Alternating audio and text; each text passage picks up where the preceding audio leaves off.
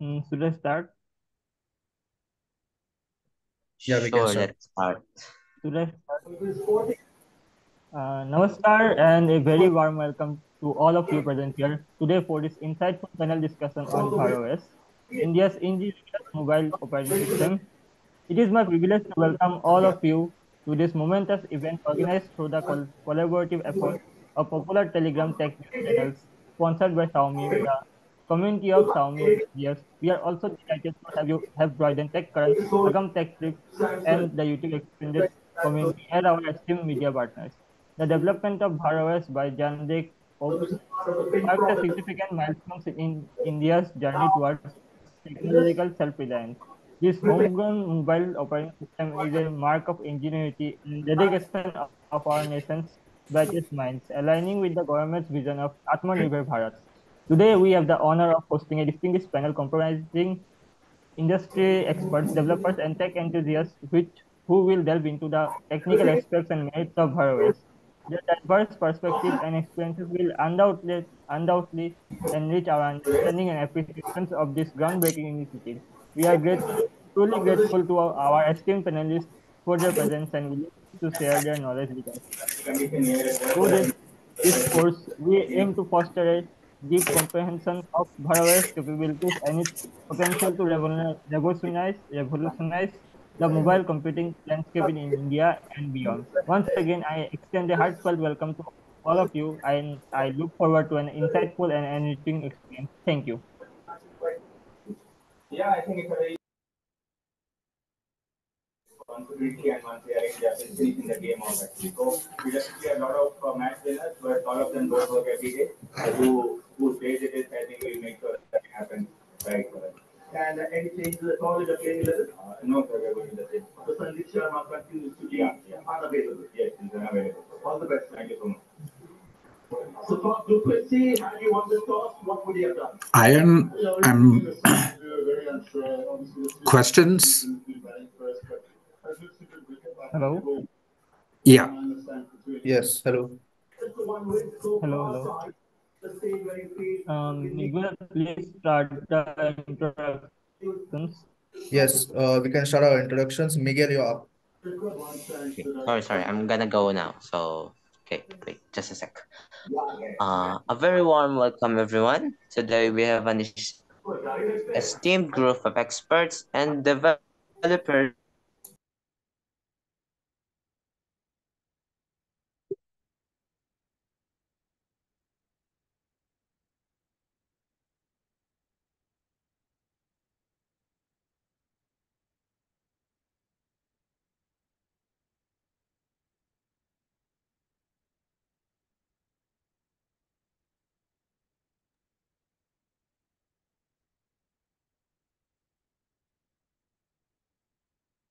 back in 1997. Miguel, your voice is breaking. Man, Wait, the stream on ATT is not Did I responding. die? Did I die? No, I mean the stream. I can't Okay. hear anything else. Neither am I. I'm just hearing your voice.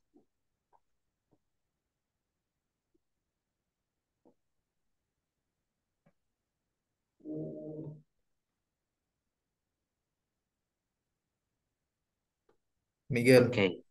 just Okay, I'm just just just restart and make it short, please. Okay, I'm sorry, guys. So let me restart again. So, a very warm welcome, everyone. Today, we have an esteemed group of experts and developers who will share and discuss their perspectives on the technical merits of BharOS. We're extremely honored to have Karthik Ayyar, the director of JNK Ops, as our guest panelist.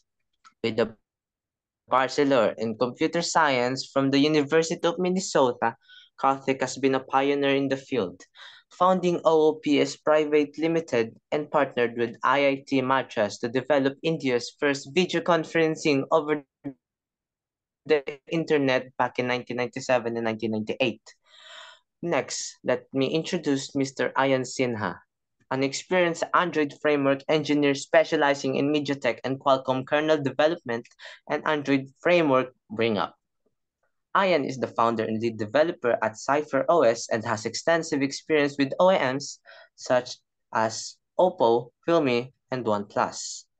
Joining us is also Mr. Pranav Talmale, a passionate BTech computer engineering student with a keen interest in custom ROMs and software tinkering, and he is currently exploring game development. We are also honored to have Mr. Gian Paulo Estacio, a renowned MediaTek developer from the Philippines who tinkers with Realme devices, sharing his insights with us today. Moderating our discussion is Mr. Yash Balaji Reddy, a cybersecurity enthusiast with seven years of experience in Android, currently pursuing an MSc in cybersecurity from NFSU. We have a very skilled and accomplished panel, and I'm confident that our collective knowledge and experience will lead to an informative and thought-provoking discussion. Uh, thank you, Miguel, uh, for that brilliant introduction. Uh, Mr. Karthik, uh, we can begin now with the panel discussion. Uh, my first question to you would be, uh, what exactly is BharOS? Uh, we have known about it. Uh, we have read about it on newspapers, on the social media and everything. Uh, can you please elaborate what exactly is BharOS? So the panelists can, and me as well, uh, know about it, clear our doubts on it. Please. Okay. Well, thanks guys for this invite. Um, and uh, let me just start by saying that um, uh, the philosophy of BharOS to start with, um, you know, we've been seeing uh, operating systems uh, st start taking over our lives, practically speaking, where we have reached a point today where we don't have any control over the data uh, that we create. We don't have any control over the digital identity uh, that we have. You know, um, for example, if you lose your phone today, um, you know, it becomes very it becomes practically impossible for you to kind of retrieve your digital life. Uh, you need to prove to an algorithm that you're human. And uh, if you're lucky you get access to your data back. So um, i would say about uh, four or five years ago we've been you know i mean we had high hopes for android when it came out that it was supposed to be an open mobile ecosystem. And uh, we had even higher hopes when uh, you know the iphone was launched because the original promise was you would have a browser and you'd be able to access all the apps through the browser. Um, but where we are today is uh, we have several walled gardens and uh, we have uh, practically speaking bug tech controlling our lives. So the philosophy behind uh, BharOS is essentially to go back to the basics. You know uh, os being just a layer, a very thin layer over the hardware, and uh, that provides access to uh, a uniform API and access to different apps and services around that. So we started by saying that uh, what is it that we will not do? You know, so the first thing we decided was that uh, OS should not have any apps. You know, today when you go and you buy a phone, it comes with about 100 apps, and you don't know which app is doing what and which app is stealing your data, which app is malicious, which app is not. We don't know any of those things, you know. So the first philosophical approach was an app. I mean, an OS must be just that. It should. It's like a warm shell in a. You know, uh, when you buy a house, you buy it without any furniture. You just have roof, floors, and then you get to choose what furniture goes into the house. You don't allow other people to decide what you know what kind of a um, furniture you need to have in your house, uh, even if it is for your own convenience, uh, it takes away your um, your independence. It takes away your freedom, essentially. So then the second issue that came up was if there are no apps on a device with the OS, the OS is practically useless. So we said that we will come up with a with one mechanism for installing apps on the device because the issue today is not about the apps that you trust. The issue is about you have no control over the apps that you don't trust. The apps that come default with the devices that you buy you paid good money for. So we came up with this mechanism what we call as PASS which stands for private app store services. And the idea behind that is you can choose a different app store. And uh, depending on the reputation of the app store, the apps available through the, you know, you get to trust the app store administrator and you get to trust the apps that come through the app store. So that was kind of the second uh, mechanism uh, that we focused on. The third is a little more um, uh, a little more technical in that sense.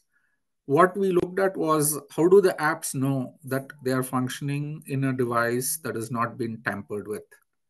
You know, it's it's important for the apps to know that it's running in an OS which has not been tampered with. Um, it's important for the OS to know um, that it's running on a device uh, with the proper root, root of trust. So we call that as a chain of trust environment. So essentially, BharOS represents uh, three different things. One is no default apps. Um, number two is PASS, private app store services. And the third is what I would call as chain of trust environment. So this is, you know, this is the fundamental philosophy behind it. It is essentially a Linux distribution. So we do have BharOS working in routers. We have BharOS working in tablets. We have BharOS working in mobiles. And uh, of course, when it comes to the mobile ecosystem, which is what I think this group is interested in, the focus is fundamentally in terms of, um, you know, how do we provide the Android compatibility? How do we uh, integrate with uh, Android open source framework? You know, things of that nature. So um, I will basically uh, leave it at that, that as a high level overview of what it is. Uh, thank you, Mr. Karthik. Uh, that is quite an interesting philosophy. Uh, our group of panelists here, they are quite accomplished uh, within the Android open source project uh, with custom ROMs, uh, with the Linux kernel and all. So I think yeah. we can get a bit technical with the panelist. Mr. Aryan Sinha, can you please share your views on it? Since you have worked with a lot of OEMs before. On to sure. Hello, Mr. Arya. Uh, very good good evening. Good evening, uh, Aryan. I hope mm. you're doing well. So, a bit of short, short introduction of myself. You might have heard. Um, I'm an Android engineer. I'm a founder of an Indian operating system, the same philosophy you are following. So, my question is, what is BharOS based on, and how is it different from Android? Okay, um, since you have done custom ROMs, you would be, you know, uh, familiar with uh, the Android open source project, right? Yeah, obviously.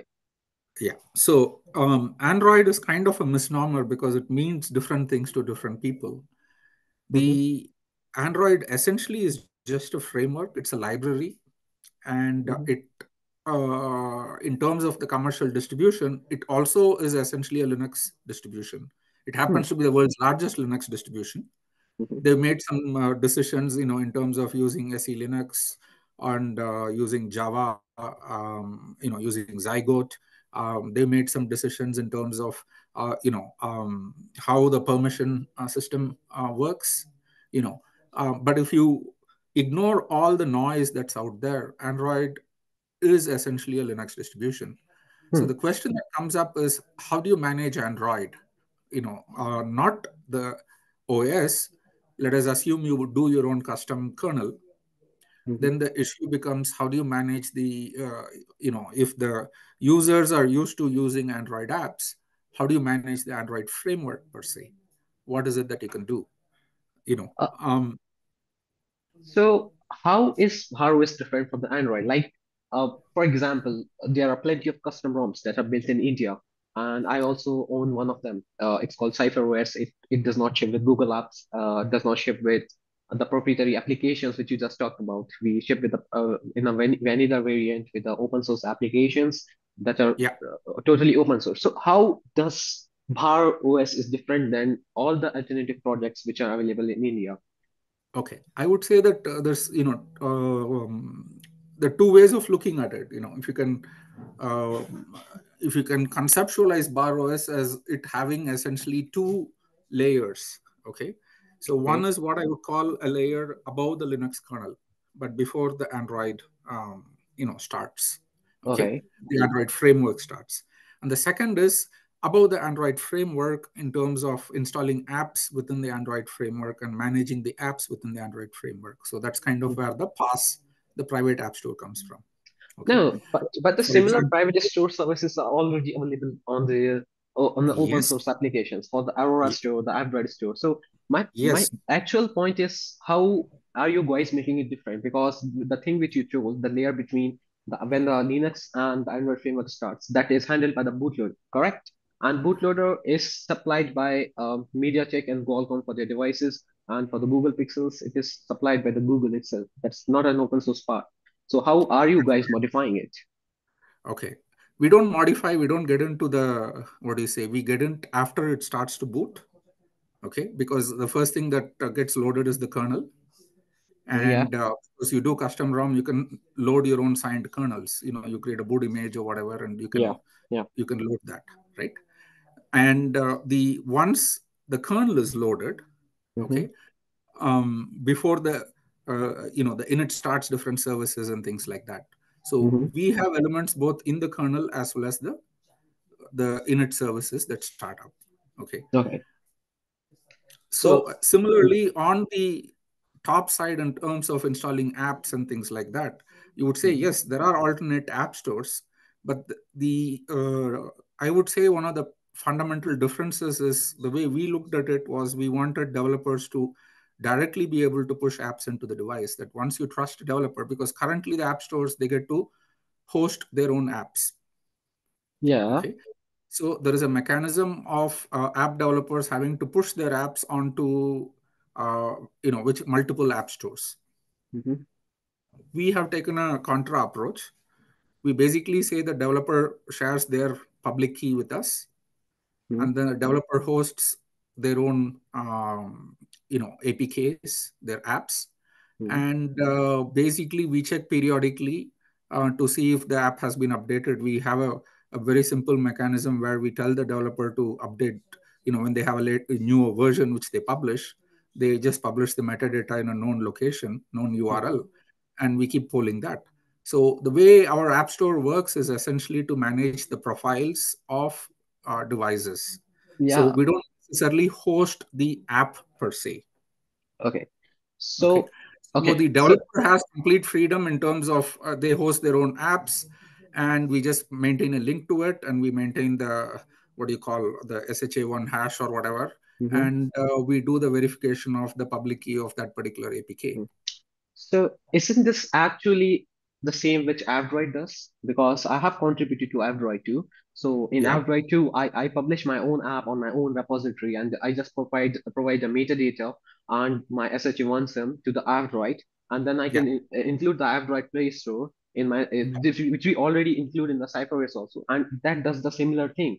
And one more no, question regarding yeah there is a slight difference the slight difference is that uh, your app is basically you are pushing your app to the app store from the app store it goes to the device. What we are talking about is us getting the app directly from the developers you know website. But but more or less you will you you are using an interface which talks between the user's url uh, the developer's url and the device correct? I'm sorry? I, I didn't get that.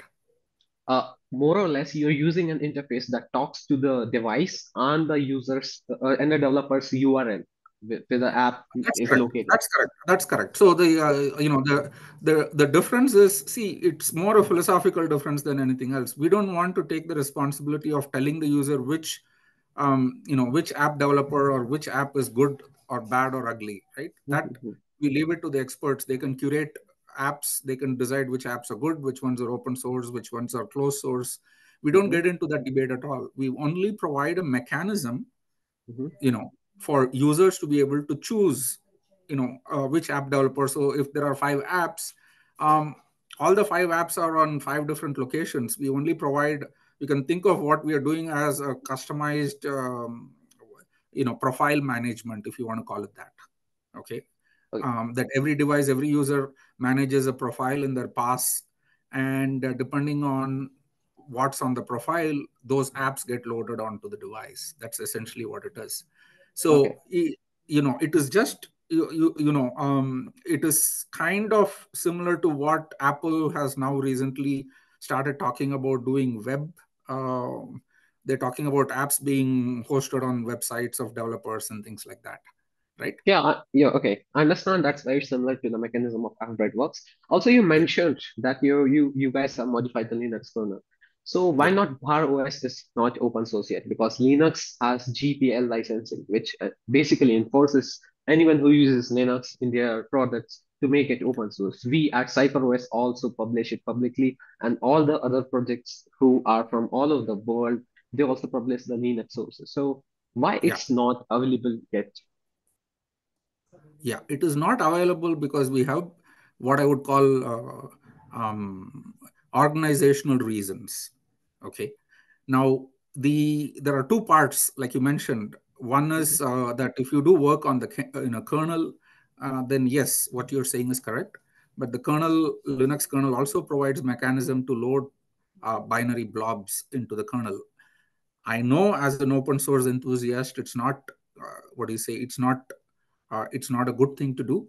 But um, commercial realities are where you know when you work with MediaTek or you work with uh, any of No, the SOC vendors, you know no, you no, need to load stuff from the vendor partition. You need to you know you need to deal with non-open source uh, components. no, th- that's totally fine.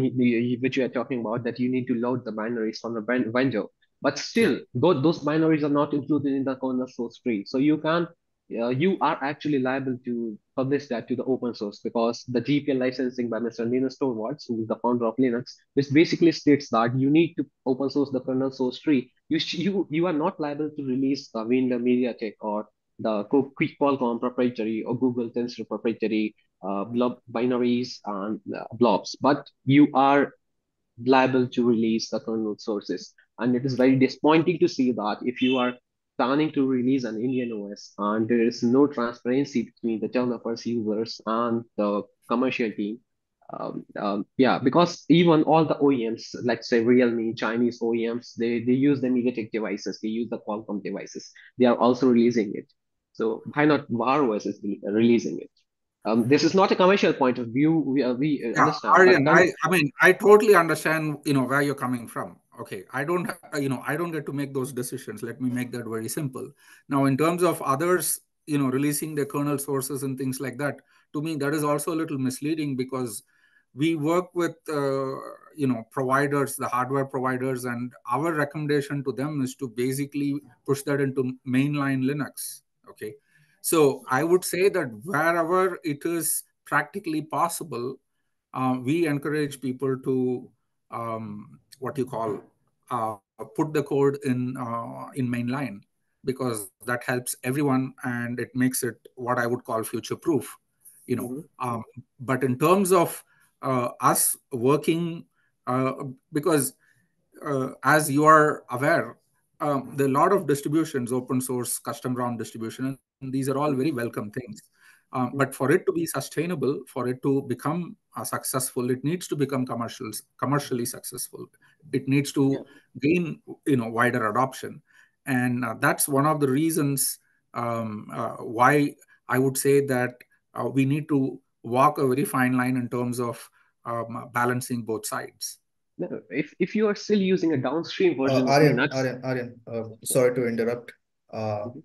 we have other panelists as well. Uh, Yeah, on, on to Gian. Uh, Gian, uh, we have a wonderful discussion right now going on.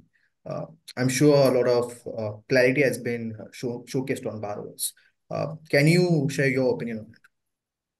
Uh, good evening, Sir, ano, uh, Sir Ayyar. Uh, here is my question about Bar SS, BharOS. Um, you said it's running on private app store services. What if people want to use Google as their primary services? Do they have an option to use Google, or there's something else other than that? No, we, we you know we don't we don't encourage that. And yes, I'm familiar with uh, the OpenGApps and the other um, you know other efforts that are going on. Um, if they want to use Google, we recommend that they go with uh, mainstream Android. Um, since uh, it's for every Indians, right? Um, since it's for every Indian, um, I think it's Google. Google is essential because um, most of the apps are required by Google services. But what what if people want to uh, doesn't have Google services but they want to use that uh, OS? See, those are um, uh, you know there are no easy answers to that, right? Um, Google services essentially, you know, we believe collect a lot more data from you than they need to to provide the services that they do. Okay. Um, so that's again a business decision that they're perfectly entitled to make, and they've made that and they move in that direction. Um, for us, data privacy and data protection is the main um, is the main uh, crux of what we are doing. Um, the ability to give uh, the people who use this uh, to make their own decision in terms of which apps they're able to load, which apps they can use, which apps they can remove, and ability to have more control uh, over the devices that they own. That is essentially where we come from, you know. So, uh, and we are not, uh, you know, as we are today, we're not really looking at the what I would call as the consumer market, not yet, because it takes a long time to get to that stage. You know, um, Android itself, when it started, I would say, I think Google, if memory serves me right, it was acquired in 2007, and it was only in 2010, 2011 they started, uh, it started coming out uh, into the mainstream, and then it has taken off from there.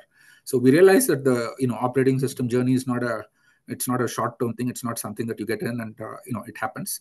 It's going to take its own time, and we're going to have to uh, overcome a lot of uh, challenges. Uh, I would say one technical, two uh, social, um, three commercial. You know, um, we've been very lucky in terms of there's been a lot of social acceptance for BharOS. It seems to have resonated very well with a lot of people and um, uh, you know we realize that puts a lot of responsibility on our shoulders. So we are balancing it because we need to make sure we you know we need to make sure we're around 10 years from now. And that's how uh, we would be able to make this successful you know. So that's that's kind of uh, uh, what i would say again you know going back to the philosophy in terms of our decision making process that's how it is. Um how can we know if BharOS is not collecting data from the users or us? Um, we don't need to collect any data, right? I mean, you know, um, people say you need telemetry data. Why do you need telemetry data? You know, um, uh, uh, OS is just a thin layer. Does the Linux kernel collect any data from people? No, it doesn't. It's the apps that collect data, and it's the apps that send data to different servers out there, and it does, you know, all those things. So I would say, uh, you know, the crux of it is that do you own your digital life? If you don't, what what part of your digital life do you control at least? You know, um, yes, people are used to different services, and uh, most people probably may not understand or realize the uh, importance of owning their own data. But um, that's you know that's something that's kind of important to us, and that's kind of been the uh, basis on which we started this journey. So data protection is the you know is the crux of what we you know what we stand for. Uh, that's a, a, really enlightening answer, Mr. Karthik, because I do agree uh, that the Linux kernel obviously does not collect any data, and that's a good philosophy. Uh, on to Mr. Pranav. Uh, Pranav, are you there? Uh, hello. Yes. Am I uh, audible? Can you share your? Yes, you're audible. Mr. Karthik has uh, shared his opinions on this. What is your uh, view on it? Um, I would first like to start by asking what security myths do you think your OS has debunked or could debunk in the future? Uh, no, that's a can of worms, right? Security myths. Um, ah, let's see. I would say that um, what we have is um, intentional complexity, you know, fundamentally. It's actually a very good question. It's making me think as we speak. Um, um the fundamental thing about uh, uh, intentional complexity is that once you start using something, you start believing that's the only way of doing it. You know, um, I mean, for example, uh, I think I use this example to people is uh, we all know that uh, when the Americans went to space, um, you know, when they came back, uh, they were very proud of announcing the ballpoint pen. You know, they'd spent uh, millions of dollars um, because ink, when in zero gravity situation, ink doesn't flow to paper. So they came up with the ballpoint pen and they used that to write stuff in space, you know. And then some people went to the Russians and they basically asked them, you know, you guys also went to space, you know, what did you do? They said we used a pencil, you know. So uh, in terms of uh, security uh, myths, I'll tell you the first security myth is that only large companies can provide data security for you. That's the first myth. Um, if you store your data in a USB drive, you remove the drive from any uh, digitally connected device. It's you know you, it's the data is with you. If you're concerned about your data, uh, you know physically being damaged or lost or whatever, um, then you can encrypt the data and store it in you know somewhere on the internet. Um, there's I'm old school. You know I've been on the internet since 1989. So I would say that uh, protocols like SSH and rsync um, are more than sufficient. There are enough tools out there that can encrypt your data, maintain all the data, and then put it out there, and then you can synchronize it. So whatever device that you use, you'll be able to do that.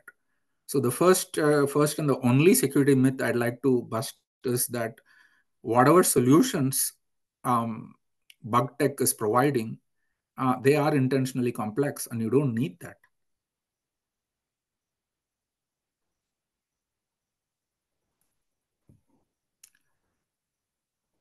Is that a good enough uh, thing, Pranav? Uh, yeah, it was a very good.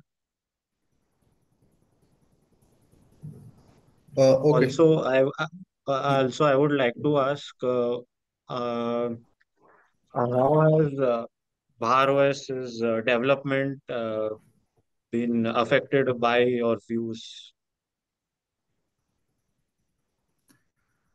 Like Um, your I'm, views I'm on sorry, can you repeat the cybersecurity question? itself. Uh, how has Yeah. BharOS's development cycle been affected by your views on cybersecurity? Um, actually, it has had no impact because, uh, to be honest with you, if you need to support Android apps, you have to do it the you know Android way. Um, and the Android way is not necessarily the most optimum way. Just to give you, um, because this is a technical audience, let me just get into that. Um, uh, the only two, uh, two and probably now these days only one module that Android uses. It's called the binder module for IPC. You know that and shared memory are the two main uh, kernel modules that Android depends on. So and uh, binder is um, you know it comes because of uh, what I would call historical decisions of the BeOS and things like that. Um, we all you know Linux already has a better IPC mechanism. You know named pipes, for example. Um, why those were not used, I don't know. Um, so some of the decisions that were made in Android are intentionally complex in my view. Um, and if you simplify it, you're going to get better security, better you know reliability, and all that. But then you know the world has moved in a very different. Uh, you know there were what I would call um, commercial considerations um, where those decisions were made. Uh, today, it's very easy for me to say that we're not going to do any uh, Android apps, right? Um, but then if you make a decision saying that you're not going to run Android apps, you're going to only run Linux apps, then end users are going to be affected by it because they're used to using devices in a certain way, you know. Um, so yes, um, uh, will we get to untangling, um, you know, this intentional complexity? I hope so but that would require uh, time and um, you know uh, what I would call a market respect, I suppose, and that's going to happen. I hope it happens. Uh, I think uh, we should go back to Mr. Uh, Aryan. He's been edging on to uh, uh, clear a few doubts of his. Aryan, you are. Okay, uh, so uh, one more question from my side. Um, yeah. You said that um, you, you took the USB, uh, you implemented your own uh, interface on it uh, uh, with some NPAWS changes. Um, so I saw in one of your conferences uh, in which you were displaying the screenshots of the BharOS. I saw Android keyboard as a pre-installed default keyboard app. So if you are trying to make an alternative to everything, uh, why have haven't you guys moved towards your own system apps and still using the rich Android chips? That's a you know I mean that's a good point. Um, our view is that if there are open source or even closed source developers out there who have developed these modules and uh, you know we have no problem bundling those uh, system apps as part of the solution that we offer to customers um, i would say that the the focus for us has always remained on the os side not necessarily on the app side or the user experience side. While we understand those things um, we in fact even have uh, i would say we have had requests for people saying that you know so much about security why don't you do a messaging uh, messaging uh, ecosystem or app system or whatever? Yes we have certain ideas in terms of how that, that can go um, but practically speaking uh, it's going to take some time before that happens you know um, for example uh, my view of what an end user needs to do uh, and what an app developer does is essentially it's just identity and data. So if you can provide a common service where identity and data are interlinked, and uh, developers can just do a HTTP in and HTTP out to the data, and they don't really care where it goes, where it ends up.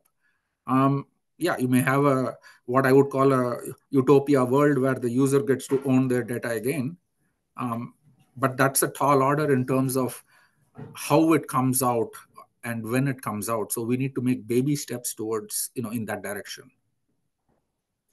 Okay. Uh, uh one of the final questions on my side yeah um so as you said that you are currently not mainline right so you're using a downstream fork of uh linux kernel correct yeah that's correct so uh, what makes you think that it cannot be open sourced? Because um, I myself have worked with the various OEMs, and I currently work on the stock ROM development for one of them smartphone brand. And we also use the downstream kernel versions. We are shipping 5.10, and mainline is I think 6.2. I think so. Yeah. Um, we also release those downstream versions because it makes more sense because to respect the licensing licensing of the Linux kernel. So yeah. um, um, my question is again that why even, I, you know, I, it's like this the, I, yeah. I agree I agree with you on a personal basis but when it comes to uh, what I would call legal or commercial decisions those are defined by contracts you yeah know, but but but as simple but, as that so it varies it varies from um, uh, you know OEM to OEM device manufacturer to device manufacturer. It you know I can't there, there isn't one single uh, formula that works across. For example even the bootloader right? Mm-hmm. um, the if you look at the industry they've gone you know it started with u-boot okay? Yes. And uh, android called it a boot why they called it a boot only god knows okay? And uh, in u-boot if you look at how it has evolved or how it has morphed uh, it's again it's a big hairball today does it need to be as complex as it is no it doesn't have to be but then can you change the bootloader you can't and if you look at the SOC vendors, they moved more in terms of um, they've gotten into what are known as preloaders, and yes. uh, you know it's a it's not a happy situation, right? It's not a mm-hmm. simple situation. Um, so we need to work with that. You know, um, as yeah. much as you know, you yeah. personally like it, and we personally, you know, I may personally like it. Um, mm-hmm. there is what I would call, uh, you know, being pragmatic about uh, the decisions we make. Mm-hmm. Yeah, but even from the commercial point of view, you, you are not uh, requested or advised to release uh, those uh, U-boot sources, but uh, you can just release the kernel tree. But nevertheless, uh, I think that um, uh, that may change in your future or after this conference, maybe some. I, I hope so. Yes. Yeah. yeah, yeah. So we can see, and also what all devices BharOS supports as of now. See, as of now, um, I would say the um, processors, you know, um, we worked with uh, uh, MediaTek processors. We have worked mm-hmm. with um, uh, Spreadtrum process, Unisoc processors. Yeah. Um, we, have, we have worked with uh, Qualcomm processors. Um, you know, so it's basically with the reference de- designs of the SOCs, we're able to work with them. Okay. Any plans shipping it to uh, shipping BharOS in near future? Uh, see, that is a, you know, I mean, unfortunately, it's a commercial decision, right? It's not a, um, uh, you know, so currently solutions of, uh, you know, borrower solutions are going in uh, what I would call uh, closed, uh, you know, private networks. Okay. I'm fine.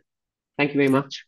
Okay, uh, so uh, we can uh, shift to uh, Gian. Uh, do you have anything to add to the discussion, Gian? Um, here's my quest last question for my side. Um, what are your goals to reach the expectations of every users that use your, product or the BharOS? Ah, boy.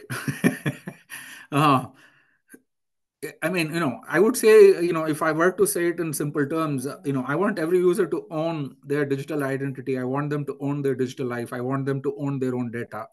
And I want them to make the decision whether they share it with others or not, you know.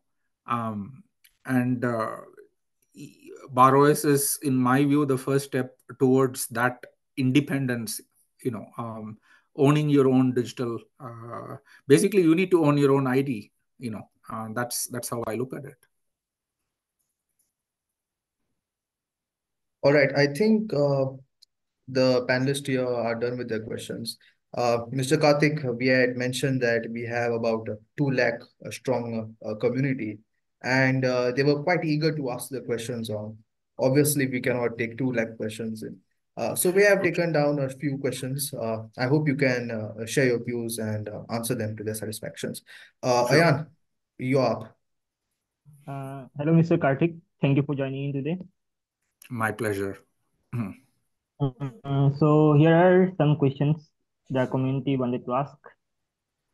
How did you get involved in Android development? Have you previously worked on any AOSP projects or is this your inaugural project in this domain?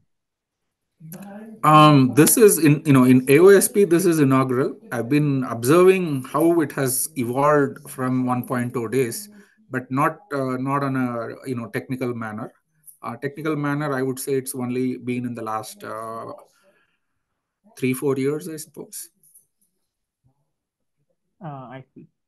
Uh, so another question was I have, I mean, you know, in terms of my open source contributions, I've done some contribution to uh, Dropbear, which is a SSH server, and that's distributed widely in um, uh, what you call, uh, you know, on the internet. I suppose a lot of embedded devices have them. Um, um, there's some stuff on my GitHub, I suppose, some Python code and things like that. Uh, but yeah, I uh, I would say that I come from a background where I understand uh, uh, it's old school, so I understand things at a low level. Um, uh, okay, so moving on. The second question was BharOS as a project affiliated with IIT gained significant attention upon its announcement some time ago. However, there were no public samples or opportunities for beta or alpha testing. Was this decision intentional? yes it is intentional um, because uh, when we do anything in public the expectations are very high for example we never considered um, um, you know um, uh, it's uh, we never considered a consumer um, rollout or we never anticipated that consumers would be very eager to uh, get used to this. Um, but we realize uh, you know we realize today that uh, that is something that we need to be working on and we are working on that. Um, uh, and it is a tall order because as you're aware consumer devices they get paid for loading an os and uh, our value proposition is we are going to the people who are making the devices and saying you pay us. So they look at it as a double penalty you know. Um, so it is not a easy what do you call it? it's not an easy thing to crack into you know. Even if consumers are willing to pay us directly um, you know uh, the electronic manufacturing is a volume game. So unless let us say we make a million de- devices um, then you're not going to be cost competitive in terms of so the user's expectation is you know we want to be able to go out and buy a 5000 or a 7000 or a 10000 rupee phone and we want BharOS in it. Um, that is uh, technically it's possible. Practically it requires you know uh, we need to be in a different league for us to be able to do that i've been on some public stages and i said if someone has 200 million dollars to spare please contact us. You know we'd love to you know launch a phone with BharOS in it. So that's kind of where that is. Also why do you think BharOS gained such a widespread interest in the tech community? I, I think it resonates well with two things you know. Number one what it stands for you know um, we don't want your data. You need to own your own data. You know own your id own your data and uh, people are tired of all the apps that are coming on the phone and even what they call plain vanilla versions and things like that. It comes with more apps than people need number one. And number two um, i you know i i would always say look at look at a situation where usually when you know people who have laptops they'll call their grandson or their nephew or whatever to come and fix it for them. Install this do this do that. That's how the world works. And uh, you know why can't you do that for your android phone? You can't you know uh, so i would say the two things that actually resonated well with people the first one was no default apps and uh, the second was uh, private app stores. Um, because people at some level they realize that it's all about independence you know um, that they're no longer dependent on these companies and their policies and you know uh, for them to own their ident- their digital identity and their data. That's essentially what it is. I think so. The the data the data protection thing you said uh, many customers like graphene os have already done it in the past how is it how is it Bhar, how is BharOS different from anything like graphene os or lineage os See, I um, Graphene OS is uh, a Graphene uh, lineage. These are all wonderful projects, right? Um, um, and uh, um, they have done some extremely good technical work, you know. Um, but it it remains a niche because it is focused on um, uh, what do you say? What I would call people who are technically extremely sound to be to benefit from it. And I think there are a few organizations out there that you know that do graphene OS loading and selling devices with that or whatever, and that is good. Uh, our view is that um, uh, the OS is not number one. It's not restricted just to mobiles. It's there in routers. It's there in you know anything uh, anything that needs an OS. You can use the same principles. Um, or, or devices that don't need a UI and human interaction um, can benefit from the same things you know same philosophies you know no telemetry no uh, you know fast boot um, making sure that the data is yours uh, ability to install apps remotely through a centralized mechanism these are all things that uh, uh are built i mean can be built on top of linux uh, we don't see any other distribution that has kind of tried to focus on what i would call this approach you know so um, that's that's where we think BharOS is different. Will you be also uh, working on a laptop OS like one that can run on uh, 86, uh, x86 platforms? See, uh, um, I would like to. You know, if you ask me a time frame for when that would happen, I would say I, you know, I can't really because um, it's it's a matter of uh, what do we prioritize first.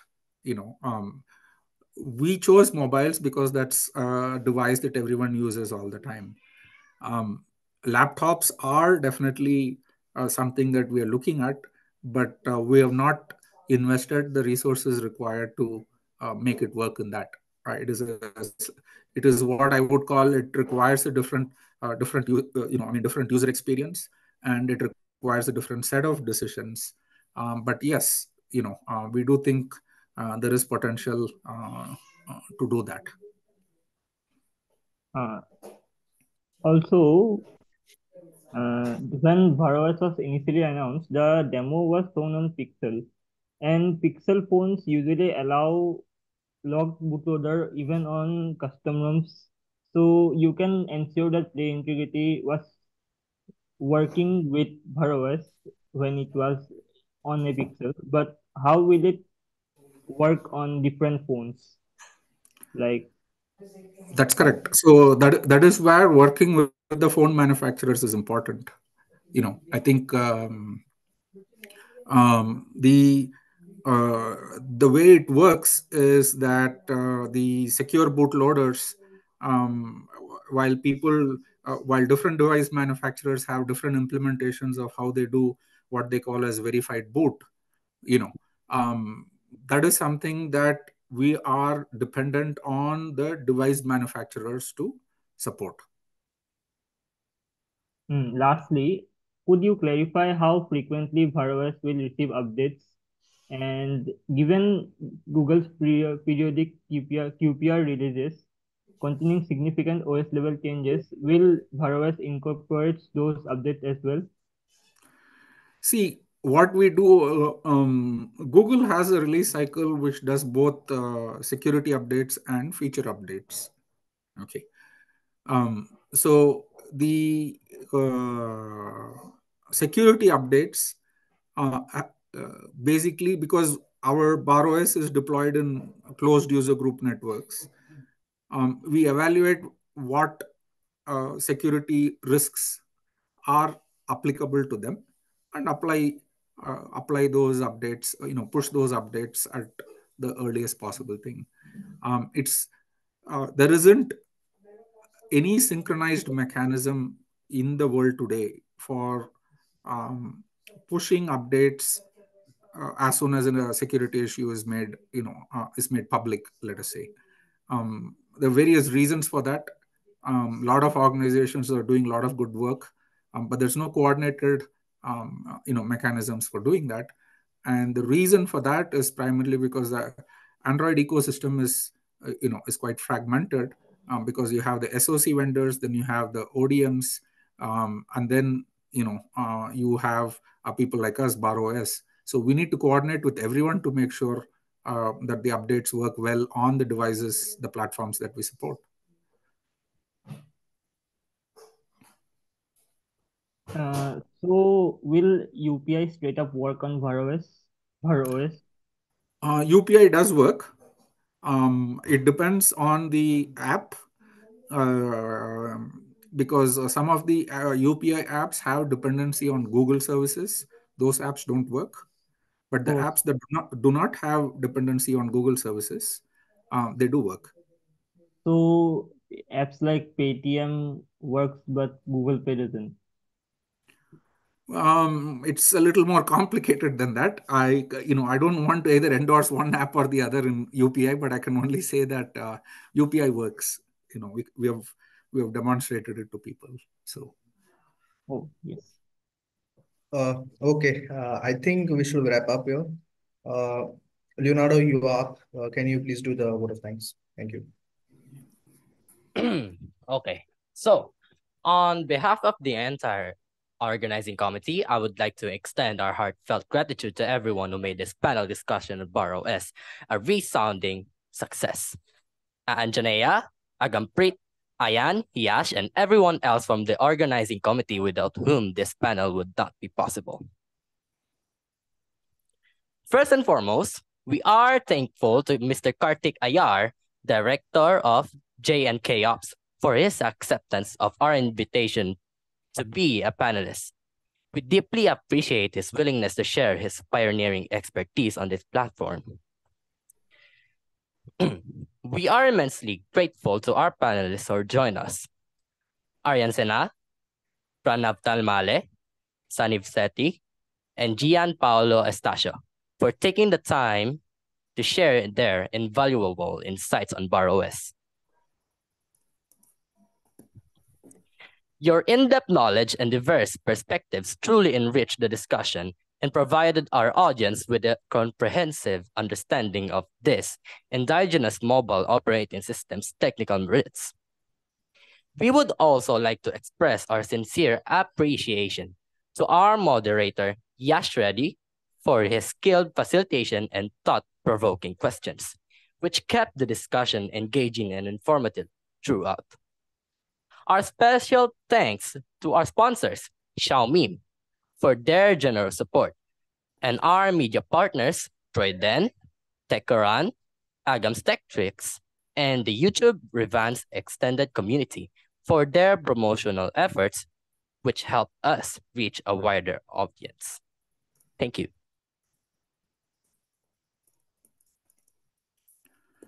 Well, thanks a lot, guys. Thank you, Mr. Karthik. Yeah. Bye-bye. Bye. -bye. Bye.